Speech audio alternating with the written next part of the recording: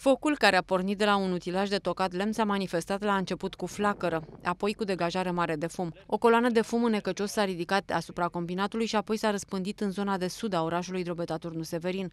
Aerul a ajuns în scurt timp irrespirabil, motiv pentru care autoritățile au emis un mesaj roaler. Pompierii de la ISU Drobeta au deplasat la locul intervenției toate forțele pe care le aveau disponibile pentru a localiza și stinge incendiul.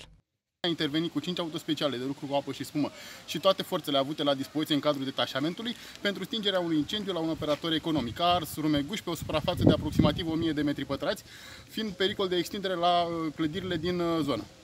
Din cauza incendiului a fost afectată și activitatea combinatului pentru că a ars depozitul de rumeguș folosit pentru asigurarea agentului termic necesar funcționării. Toți angajații care ar fi intrat la lucru în schimbul 3 au fost trimiși acasă.